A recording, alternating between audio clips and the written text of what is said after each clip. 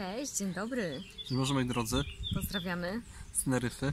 z Wysp Kanaryjskich. Jesteśmy tutaj na zasłużonym odpoczynku i chcieliśmy Wam z tego miejsca przeczytać psalm, który 23, trzeci, który bardzo teraz nam jest bliski w tym momencie. tak, i który, który nam mówi o dobroci Jezusa, bo w nim uznajemy Go za swojego pasterza. Bóg pasterzem i gospodarzem. Pan jest moim pasterzem, nie brak mi niczego. Pozwala mi leżeć na zielonych pastwiskach. Prowadzi mnie nad wody, gdzie mogę odpocząć, orzeźwia moją duszę. Wiedzie mnie po właściwych ścieżkach przez wzgląd na swoje imię. Chociażbym chodził ciemną doliną, zła się nie ulęknę. Bo Ty jesteś ze mną.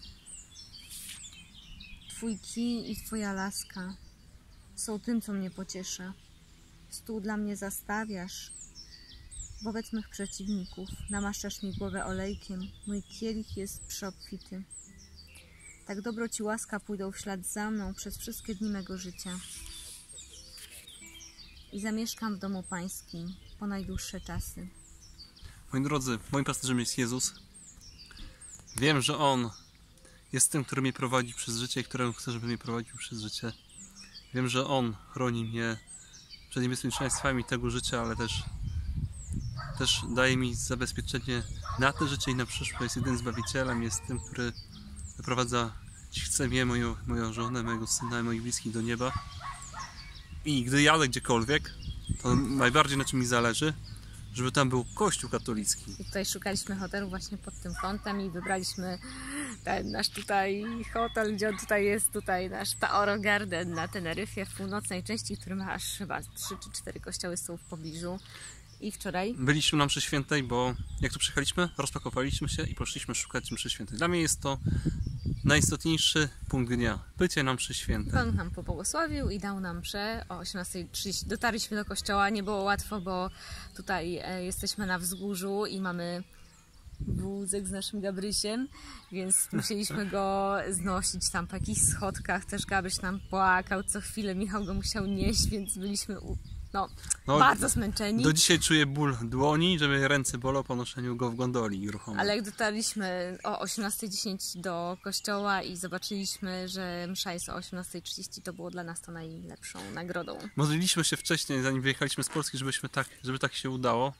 Pan Bóg nam to dał i jestem bardzo za to wdzięczny. Pan I jest mój- karmi nas, czyli Ka- karmi nas i duchowo, i fizycznie, Fizycznie. mamy bardzo pyszne jedzonko w i, hotelu. i strzeże nas przed zagrożeniami duchowymi, czyli przed złymi siłami, ale też przed, przed ludźmi.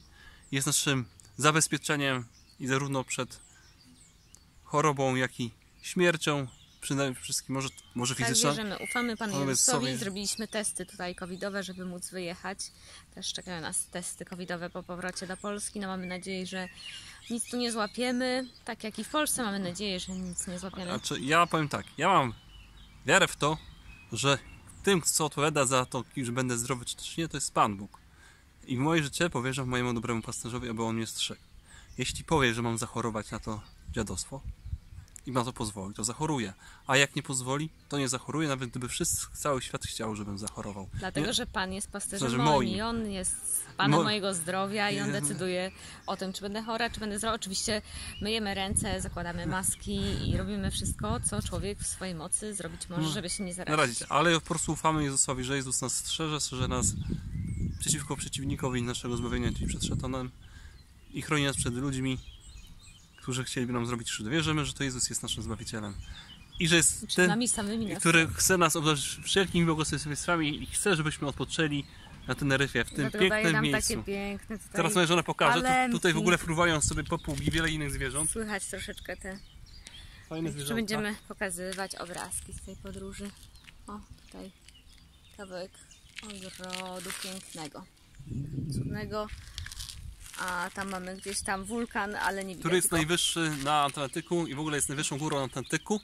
Ma 3720 metrów, a w ogóle od podłoża ten wulkan to jest w ogóle naj, jest trzeci naj, najwyższy po tego, ponieważ on w sumie ma 7000 metrów od głębokości oceanu.